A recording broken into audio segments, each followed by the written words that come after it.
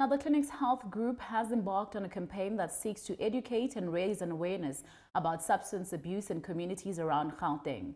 This is in commemoration of International Day Against Drug Abuse and Youth Month.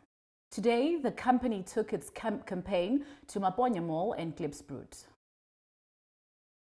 Njengoba kuyisonto lokuqwashisa ngokusetshenziswa kwezidakamizwa eliqale emhla zingamashumi amabili nane kwephezulu kuze kube ke mhla zingamashumi amathathu iClinics Health Group yangokuqinisa umkhankaso wayo wezinyanga ezintathu wokulwa nalesi sihlava.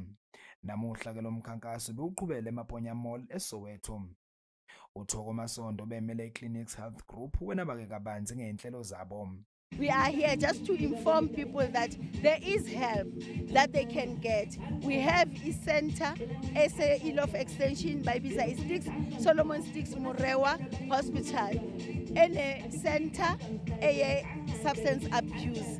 We take them through a program, yeah, rehab lab, and then we are not just taking them through that program. We actually train them uh, ukuthi sibaskile when they go back to the community they can actually start something they can do something with their lives Inxusa leClinic Health Group elibhekene nokusetshenziswa kwezidakamizwa nelabekela izihlabane kuyibhola likanobhutshuzwa kwabesimame uPortia Mdise uthi ke yilona lowo kufanele kuqonde kabanzi ukuthi izidakamizwa ziphonsana eweni kunokuba zixasulule impilo yomuntu I'm dealing with these issues. I watch these issues every day.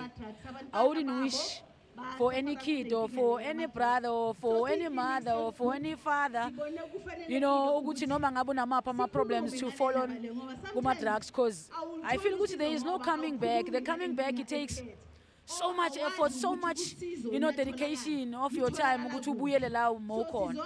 So I will say to them, they must go to school, especially the young generation. Go to school, bafethu. We grew up in a pre, uh, disadvantaged homes. You know, it's not easy, but it doesn't say ukuthi there's an easy way out. The easy way out, mawucabanga ukuthi ama-drugs, mamela, that's when you're going down the drain even more. umodise uthi ke uhulumeni kufanele etshale kakhulu imali ekwakhiweni kwezinkundla zezemidlalo ukuze ke intsha izogxila kakhulu kuzo iqhele ezidakamizweni ezindabeni zeSoweto TV kubika umqondisi Miyeni ngesamaponya Mall.